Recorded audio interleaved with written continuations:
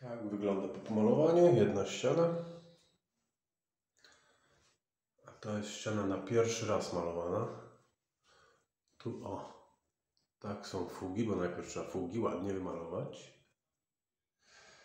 Najpierw fugi pędzelkiem co najmniej dwa razy, najlepiej trzy. No i potem lecimy wałeczkiem. I to jest na pierwszy raz. Widać stare kafelki. Jakiś tam wzorek pod spodem.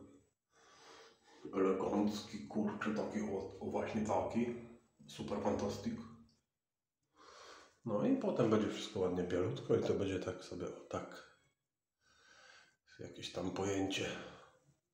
Zobaczymy. Zobaczymy, jak to będzie wyglądać wszystko ładnie. Zobaczymy końcowy efekt.